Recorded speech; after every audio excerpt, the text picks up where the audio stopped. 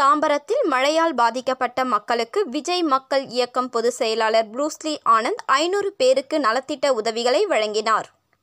தமிழகத்தில் வடகிழக்கு பருவமழையால் பாதிக்கப்பட்ட மக்களுக்கு தளபதி விஜய் மக்கள் இயக்கம் சார்பில் நலத்திட்ட உதவிகள் கடந்த ஒரு வாரமாக வழங்கப்பட்டு வருகிறது.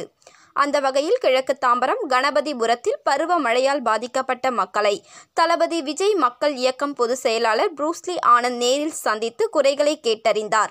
பின்னர் மாவட்ட இளைஞரணி பொருளாளர் கே மனோ ஏற்பாட்டில் பாதிக்கப்பட்ட மக்களுக்கு அரிசிகளை வழங்கினார். சுமார் ஐநூறு குடும்பத்தினருக்கு நலத்திட்ட உதவிகள் வழங்கப்பட்டது. அதனைத் தொடர்ந்து செய்தியாளர்களிடம் பேசிய அவர் பருவமழை தொடக்கத்தில் இருந்தே தளபதி மக்கள் இயக்கம் சார்பில் மழையால் பாதிக்கப்பட்ட மக்களுக்கு கடந்த பத்து நாட்களாக உதவிகள் செய்து வருகின்றோம். அந்த வகையில் இன்று தாம்பரத்தில் மழையால் பாதிக்கப்பட்ட மக்கள் ஐநூறு பேருக்கு இந்த உதவிகள் வழங்கப்பட்டுள்ளது.